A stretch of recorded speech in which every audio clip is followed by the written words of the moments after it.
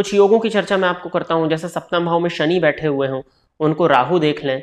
सप्तम भाव में राहु बैठे हुए हों, या सप्तम भाव में बुध बैठे हुए हों, उस पर राहु की दृष्टि लग्न से पड़ जाए। लग्न में राहु बैठे हों, सप्तम में बुध बैठे हों तो इस तरह का योग बनता है। वृश्चिक या कुंभ लग्न की जन्म कुंडली के अष्टम भाव में केतु बैठे हों, और उनको गुरु ना देखें कहीं से भी तो भी इस तरह का योग बन जाता है। बुध और शनि की युति जन्म कुंडली के अष्टम भाव में हो।